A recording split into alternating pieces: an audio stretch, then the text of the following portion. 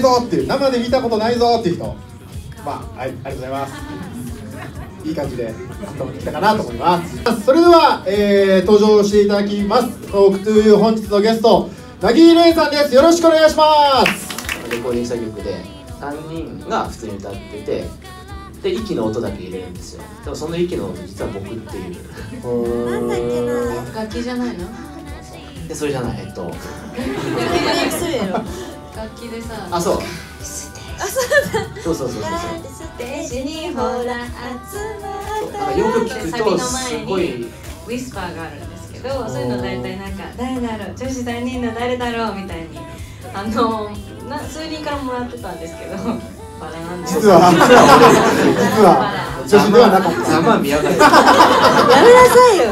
俺そのウィスパー俺耳元で支えてる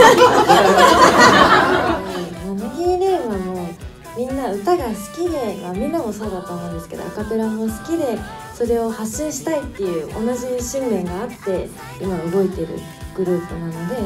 まあ、アカペラやってる方は今一緒にやってる方と何みんながどこに行きたいかみたいな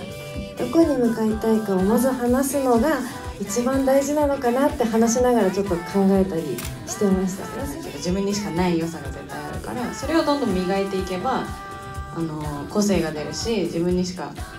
出せない魅力が必ず絶対誰しもここにいる人全員絶対あると思うのでそれを出していけたらいいんじゃないかな。そう他人と比べるっていうよりかは自分をもっと知って自分をもっと好きになって自分の歌を好きになってで同じバンドメンバーのことももっとよく知って一緒に、うん、尊敬し合いながらやっていくみたいなチームでそういう感じかなそれ周りと比べてしまうってみんなが言ってたようなことって本当にそうでそれで辛いこともあったんですけどそれでもやっぱり一緒にやってる仲間だったりあの同じ音楽、まあ、椎名林檎のバンドとか洋楽のアリアナ・グランデのバンドとかやってたんですけどあの同じジャンルが同じ歌が好きな仲間と楽しんでやれてたのまあ、みんなが言ったことなんですけどまずはあのやりたいことをあの精一杯あのやりつつあの目の前のことをねやってると、まあ、アカペラってやっぱりこうプレイヤーだけじゃなくて写真撮るのがめっちゃ上手い人あの SNS めっちゃ上手い人コピーライターアレンジめっちゃ上手い人とかこう役割がどんどん分かれていくんで、まあ、そこでこう自分の居場所っていうのをどんどん見つけてもらえると結局そのサークルとしてはあのプレイヤーだけじゃなくていろんな人がいるっていうことが分かってくるんでそれはやっぱりあの社会人とか企業によっても一緒だと思うんですけどそういうところで自分のあの得意なところをねどんどん見つけていってほしいなとか自分たちを一番気持ちよく表現できてるなっていうなんかいいところいいところを見つけてグループ活動を続けていってくれたらなんか自然と魅力的なグループになっていくと思うし、えー楽しくなっていくんじゃないかなと。思いますなので、えーそういう心持ちでやってくれればいいかなと思っています伝えたいことはそんな感じですありがとうございます。それでは、えー、本当に楽しい時間でもう終わってしまいます。ありがとうございました。最後に曲をじゃあ曲だけ歌っていただいてよろしいでしょうかはい。最後に、えー私たちがずっとね、あのー結成当初から歌い続けている、えーオリジナルソング「フライデーナイト」をお聴きしていただければと思います。本日は本当にありがとうございました。ありがとうございました。ではお聴きください「フライデーナイト」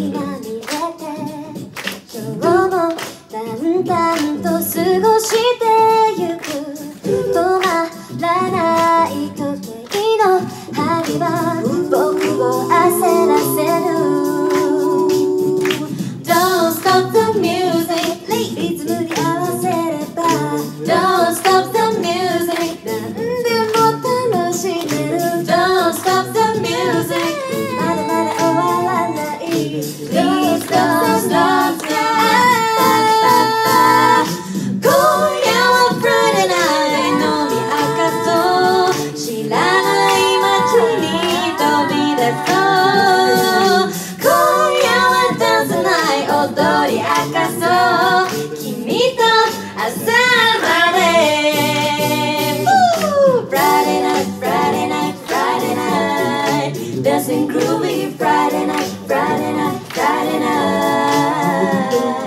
Friday night, Friday night, doesn't dancing all night.